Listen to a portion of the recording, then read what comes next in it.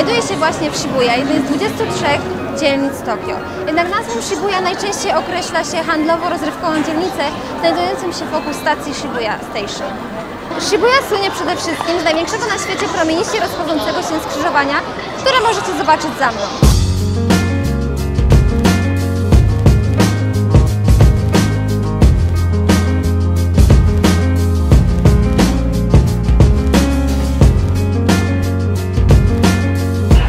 Bardzo znanym miejscem w Shibui jest odlany z brązu pomnik Sahahiko, wiernego czworonoga, który przez 10 lat w tym właśnie miejscu czekał na swojego zmarłego właściciela.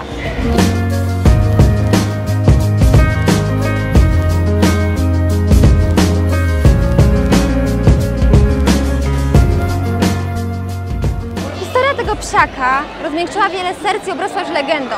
Psiak doczekał się pomnika. Pierwszy pomnik Sahahiko, który stał w tym miejscu, został w 1945 roku przetopiony na potrzeby armii. Pomnik Haiko jest właśnie takim miejscem, w którym młodzi oczekują na swoich przyjaciół i ruszają dalej w miasto.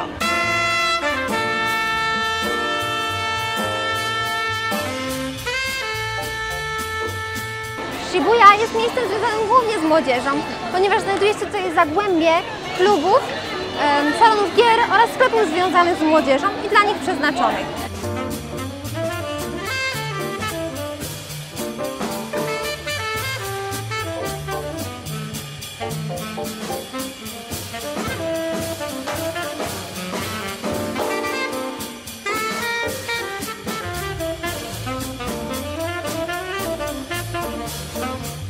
Kolejnym odcinku odwiedzimy wraz z Karoliną tokijski targ rybny, jeden z największych na świecie. Subskrybuj nasz kanał, aby nie przegapić tego filmu.